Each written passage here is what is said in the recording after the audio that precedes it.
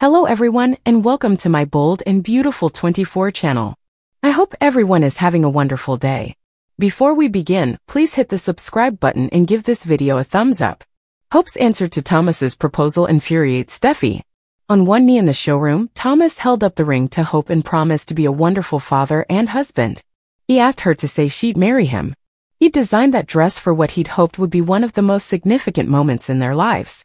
He felt that the ring deserved to be on her hand and he wanted the world to see them walking side by side into the future. All she had to do was say she'd marry him.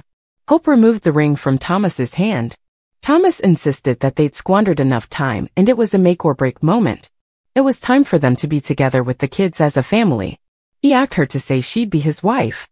Tearing up, Hope replied that she adored him, but she couldn't accept his proposal.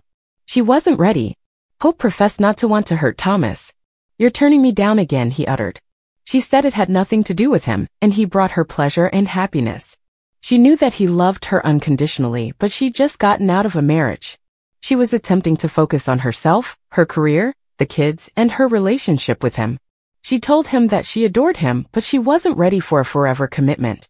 As she apologized, he fled from the room. In Eric's office, Steffy toiled behind the desk. She was astonished when Liam arrived. Liam said he'd thought about making up an excuse, like he was dropping something off for Kelly, but he was there out of concern for Steffy regarding Finn's reaction to Sheila's demise. Steffy assured Liam that her relationship with Finn was normal and she wasn't worried about them. Instead, she was concerned about Thomas. Liam asked what was wrong with Thomas. What do you think? Hope.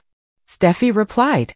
She said Hope was wearing Thomas's ring around her neck and it was ridiculous because Hope didn't adore him and would never truly commit to him.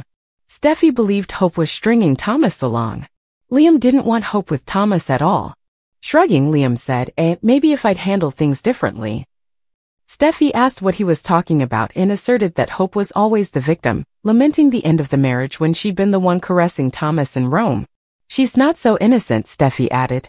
Liam thanks Steffy for acknowledging it because not many people did. Steffy asserted that she was losing patience with Hope, who was messing with Thomas's feelings the way she'd messed with Liam's, leading Thomas on and making him believe she'd marry him.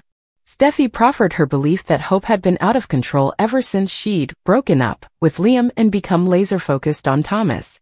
Steffy believed her sibling was in for a world of hurt. Liam said Hope could be in for it too, but whatever happened, Liam felt that he and Steffy could concur that Hope and Thomas were a toxic combination. Later, Steffy returned to the office and found Thomas there. Upset, he said he'd been ready, but it hadn't happened. He called himself an imbecile and said he'd asked Hope to marry him again. Steffy presumed Hope had turned him down again. Knowing it would happen, Steffy said he didn't deserve it, and Hope was terrible news. Thomas didn't get what he'd done wrong. He'd given Hope the ring, and she'd been wearing it. As a necklace, Thomas, Steffy said. Thomas stated that he'd offered it to Hope, and she hadn't refused it. There had been potential and she hadn't rejected it. Steffy told him that he was setting himself up and Hope would never give him what he desired. He asked Steffy not to say it. What Hope had just done proved it in Steffy's eyes. She said Hope claimed to adore him but would never commit. Steffy advised him to move forward and concentrate on a future without hope. At the Cliff House, Finn asked Poppy what Luna's desire to talk to her birth father had to do with him or what he could do to assist. Poppy asked him to give Luna what she was searching for more than anything. Talk to her, Finn, Poppy requested. Finn had no difficulties talking to Luna, but figuring she preferred her father, he asked if Poppy knew who the man was. Poppy replied that Luna had been conceived in love. Finn figured Poppy had known the day would arrive that Luna would want to know who her father was, and he suggested that she let it happen. Poppy replied that it had always been the two of them, and that had been enough. Finn reasoned that it might have been for Poppy, but Luna might not have wanted to upset Poppy by confessing to needing her father. Poppy stated that Luna required a strong male presence in her life, and Finn could easily fill the shoes because Luna looked up to him.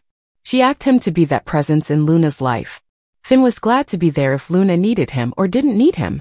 Finn remarked that Poppy had watched after him when he'd been Luna's age, Poppy affirmed it and remarked that he'd become a doctor with a beautiful family, and she had an adult daughter with a mind of her own. Poppy missed the days when Luna would take her cue from her mother, who'd always been able to steer Luna clear of the topic of her father. Finn replied that, as Luna's cousin, he felt it was time that Luna knew who her father was. At Luna's place, Luna was sorry to be emotional in front of Bill, but he assured her that she could speak to him. Bill figured he might be able to assist or offer her guidance. Luna said that her mother had been like a best companion to confide in, but now, Bill assumed Luna felt she needed her father to speak to, but Poppy hadn't revealed who that was. Luna asked if Bill thought she deserved to know. Bill replied that his thoughts didn't matter because it was between Luna and Poppy, but he had asked Poppy if he was the father. Luna replied that it wasn't Bill and Poppy was wrong to keep apart a father and daughter who deserved to know each other. Bill asked if it had occurred to Luna that Poppy knew something Luna didn't. Like he's a bad person, she inquired. Bill didn't intend that, but he was certain Poppy had Luna's best interests at heart with the decision. Luna apologized for her emotions, but Bill liked that she trusted him with her feelings. She noted his kind eyes and supposed they'd been the first thing Poppy had noticed about him, too, because the eyes were the windows to the soul. Bill acknowledged that his eyes didn't always reveal the best part of him, but they had the night he'd met Poppy. Bill disclosed that he had to be careful about women because of his fortune.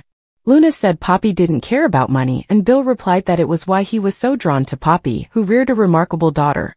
Bill asserted that Luna's father would be pleased to have her as a daughter. He asked what he could do to assist Luna without stepping on Poppy's role.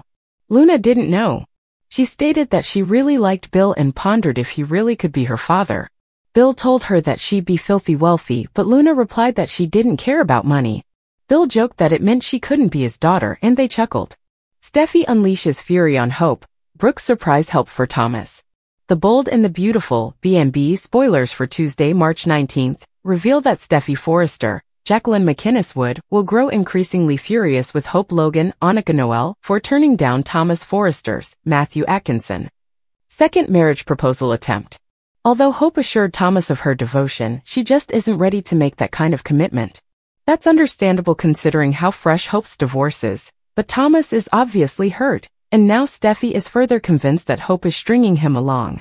Steffy just told Thomas to let Hope go and focus on a future without her, but he already told Ridge Forrester, Thorsten Kaye., that he can't imagine his existence without Hope in it. Thomas has a joyful relationship with Hope, even if there's no marriage certificate involved. Once Thomas gets over his initial anguish over the rejection, he may start to see Hope's side of all this a bit more.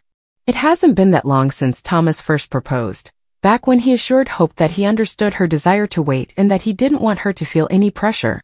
Now Thomas is going against all that and undoubtedly pressuring Hope to be his wife.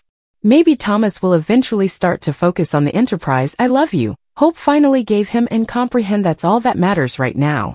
However, Steffy will feel like Thomas is waiting for a yes that will never arrive. As far as Steffy's concerned, Thomas could give Hope all the time in the world and it still wouldn't be enough to get a marriage commitment out of her. Hope will undoubtedly come looking for Thomas later to see if he's okay and find Steffy instead, so that'll set the stage for Steffy to unleash her fury. Meanwhile, B&B spoilers indicate Thomas will cross paths with Brooke Logan, Katherine Kelly Lang, in the design office, so he may give her updates on the news of Hope's latest rejection. Brooke might acknowledge that she's happy her daughter isn't rushing into anything and contend that Hope just wants to get marriage right the next time around. Since Hope and Liam Spencer's, Scott Clifton, own marriage ended in disaster, Brooke may persuade Thomas to see why Hope would be scared of taking such a huge step. Real love is about compromise and respect, so Brooke might become a surprising source of guidance for Thomas as he navigates this rejection. The bold and the beautiful spoilers say Hope and Thomas have some challenges ahead. So stay with us for more predictions on all the highs and lows.